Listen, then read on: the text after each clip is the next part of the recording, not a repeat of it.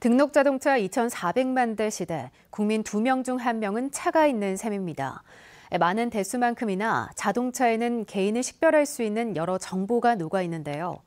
그래서 국토교통부가 VMIS, 즉 자동차 관리 정보 시스템으로 정보를 수집하고 관리하면서 차량 정비업소 등 일부에게만 접속 권한을 부여하고 있습니다. 그런데 권한도 없는 누군가가 이 시스템에 접속해 수백만 건 정보를 빼간 걸로 의심되는 사건이 발생했습니다. 조미애 기자의 단독 보도입니다. 국토교통부 자동차 관리 정보 시스템에서 비정상적인 접속이 처음 포착된 건 지난 2018년 3월입니다. 주로 시스템에 접속하는 건 차량 수리를 위해 이력 조회가 필요한 전국의 정비소들. 그런데 일부 정비소에서 밤낮을 가리지 않고 하루에만 수백 건, 심지어 불과 1분 사이 100건 넘게 조회한 사실이 확인된 겁니다. 이렇게 이상 조회로 의심된 건수가 6개월간 400만 건이 넘습니다. 이는 올해 같은 기간 국내 5개 정비조합 등의 전체 조회 건수와 맞먹는 양입니다.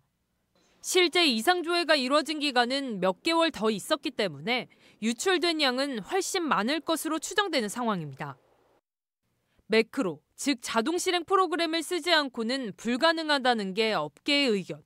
보통 경비를 하는 시간이 오전 9시부터 오후 한 6, 7시 끝나잖아요. 근데 밤 12시에 뭐, 뭐 수십 건을 조회를 하고 일주일에 10건을 조회하고 막 이런다는 거예요. 승용이 5년 10초 차를 등록하는 이 과정이 있는데 어떻게 1분에 뭐 20건, 30건을 조회하나. 말이 안 되잖아요.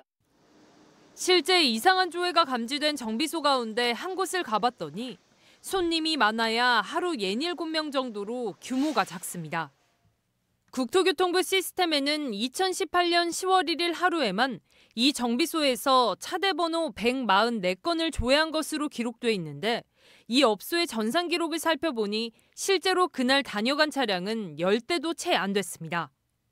무려 20배가 넘는 차이인데 정작 업주는 자신의 등록번호로 그런 조회가 이루어진 사실조차 몰랐습니다.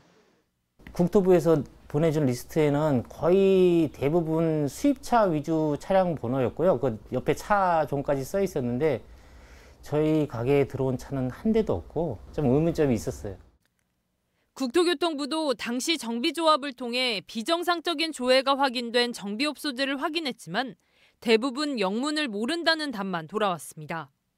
사실이라면 누군가 해당 정비업소들의 등록번호를 도용해 정보를 빼돌린 것으로 추정됩니다.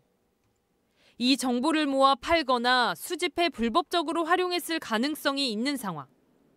그런데 국토부는 이런 문제를 확인하고도 경찰에 정식으로 수사를 의뢰하지 않았습니다.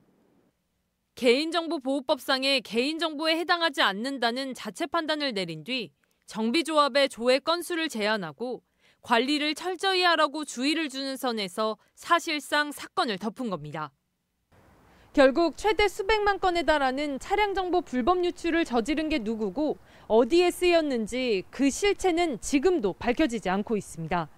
MBC 뉴스 조미입니다.